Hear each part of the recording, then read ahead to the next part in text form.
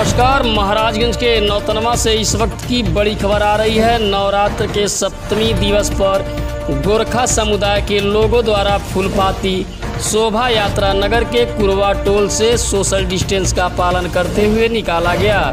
गोरखा समुदाय द्वारा निकाली गई शोभा यात्रा में माँ के प्रतीक के रूप में, माँ के नौ रूपों में सजी छोटी छोटी बच्चियाँ आगे चलते हुए मिलिट्री कैंप पहुँची, जहाँ नौतनवा नगर पालिका अध्यक्ष गुड्डू खान ने माँ के नौ रूपों का चरण स्पर्श कर स्वागत कर आशीर्वाद लिया और नगर वासियों के सुख, शांति व स्वास्थ्य के लिए मनुहार किया।